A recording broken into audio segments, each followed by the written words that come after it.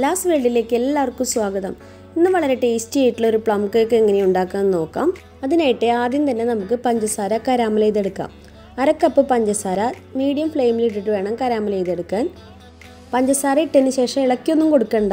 ആ തനിയെ കളറൊക്കെ മാറി വരുന്ന ഒരു സമയമുണ്ടല്ലോ. ആ സമയത്ത് നമുക്കൊരു മുക്കാൽ കപ്പ് ചൂടുവെള്ളം ഒഴിച്ചിട്ട് അത് മിക്സ് ചെയ്തെടുക്കാം. നമുക്ക് തണുക്കാനായിട്ട് മാറ്റി വയ്ക്കാം. ഇനി ഒരു മിക്സിയുടെ ജാറിലേക്ക് ഒരു മുക്കാൽ കപ്പ് പഞ്ചസാരയും ഒരു ചെറിയ കഷ്ണം ജാതിക്കയും രണ്ട് കരയാമ്പൂവും രണ്ട് ഏലക്കായും കുറച്ച് കറുവപ്പട്ടയും ഇട്ടിട്ട് നന്നായിട്ട് പൊടിച്ചെടുക്കാം. കറുവപ്പട്ട മുഴുവനായിട്ട് ഇല്ലാത്ത കാരണം ഞാൻ കുറച്ച് കറുവപ്പട്ടയുടെ പൊടിയാണ് ചേർത്തിട്ടുള്ളത്. എന്നിട്ട് നമുക്കിത് നന്നായിട്ട് അരിച്ചെടുക്കാം. അതിലത്തെ തരി വരുന്നത് കാരണം അത് മാറ്റി വയ്ക്കാം. ഇനി വേറൊരു പാത്രത്തിലേക്ക് ഒന്നര കപ്പ് മൈദ ഇട്ട് കൊടുക്കാം.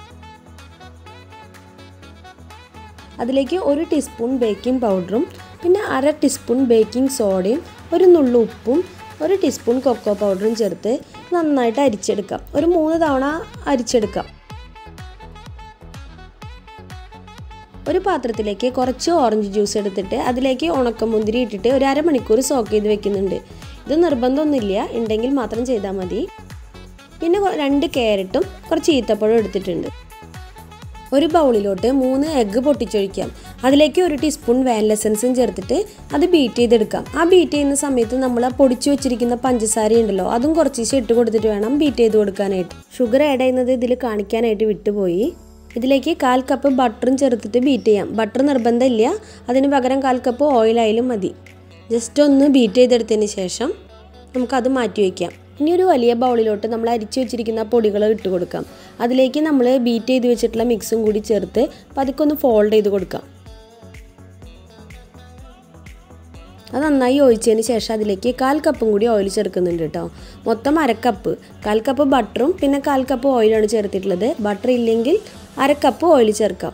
അതിലേക്ക് നമ്മൾ ഓറഞ്ച് ജ്യൂസിൽ സോക്ക് ചെയ്ത് വെച്ചിട്ടുള്ള മുന്തിരിയും പിന്നെ കുറച്ച് കേഷ്യൂസും പിന്നെ ഓറഞ്ചിന്റെ തോൽ പീൽ ചെയ്തത് കുറച്ച് ചേർത്തിട്ടുണ്ട്. പിന്നെ ഈത്തപ്പഴവും ക്യാരറ്റും എല്ലാം കൂടി ഒന്ന് ഫോൾഡ് ചെയ്തെടുക്കാം. കേക്ക് ബേക്ക് ചെയ്യുന്നത് ഒരു അലുമിനിയം പാത്രത്തിൽ വെച്ചിട്ടാണ്. അപ്പോൾ നമ്മളിതൊക്കെ ചെയ്യുന്നതിന് മുന്നേ തന്നെ ഇത് പ്രീഹീറ്റ് ചെയ്യാൻ വെക്കണം. ചെറിയ തീയിൽ വേണം പ്രീഹീറ്റ് ചെയ്യാനായിട്ട്. അത് ആ ചൂടായി വന്നിരിക്കുന്ന ആ സമയം കൊണ്ട് നമുക്കിവിടെ ബാറ്ററുകളൊക്കെ തയ്യാറാക്കി എടുക്കാം പാത്രത്തിലോട്ട് ഈ മിക്സ് ഒഴിച്ചതിന് ശേഷം ഇത് പതുക്കെ ഒന്ന് ടാപ്പ് ചെയ്തിട്ട് കൊടുക്കാം. ഇതിലോട്ട് ഡെക്കറേഷൻ ചെയ്യാനുള്ള നട്ട്സൊക്കെ ഇട്ട് വെച്ചിട്ട് നമ്മുടെ ചൂടായിട്ടുള്ള പാത്രത്തിലോട്ട് ഇത് വെച്ച് കൊടുക്കാം. ഒരു നാൽപ്പത് നാൽപ്പത്തഞ്ച് മിനിറ്റിനുള്ളിൽ നമ്മുടെ കേക്കൊക്കെ റെഡിയാവും ഒരു സ്റ്റിക്ക് എടുത്ത് ഇതുപോലെ കുത്തി നോക്കി കഴിഞ്ഞാൽ കണ്ടോ ഇതുമൊന്നും ഒട്ടി പിടിച്ചിട്ടില്ല. അപ്പോൾ നമ്മുടെ കേക്കൊക്കെ റെഡി ആയിട്ടുണ്ട്. കേക്ക് നന്നായിട്ട് ചൂടാറിയതിന് ശേഷം മാത്രം പാത്രത്തിൽ നിന്ന് മാറ്റിയെടുക്കാൻ പാടുള്ളൂ. ബട്ടർ പേപ്പറൊക്കെ നമുക്ക് മാറ്റിയെടുക്കാം. നല്ല സോഫ്റ്റ് ആയിട്ടുള്ള കേക്കാണിത് പ്ലം കേക്ക് എപ്പോഴും ഉണ്ടാക്കി വെച്ച് അന്ന് തന്നെ കഴിക്കാതെ ഒരു ദിവസം കഴിഞ്ഞിട്ട് നമുക്ക് കട്ട് ചെയ്ത് കഴിക്കുന്നതാണ് നല്ലത്. അതിന് നല്ല ടേസ്റ്റ് ഉണ്ടായിരിക്കും. സിമ്പിളായിട്ടുള്ള ഒരു പ്ലം കേക്കിന്റെ റെസിപ്പിയാണിത് എല്ലാവരും ഇത് ട്രൈ ചെയ്ത് നോക്കി നോക്കണം വീഡിയോ ഇഷ്ടപ്പെട്ടാൽ എല്ലാവരും ലൈക്ക് ചെയ്യുക ഷെയർ ചെയ്യുക സബ്സ്ക്രൈബ് ചെയ്യുക.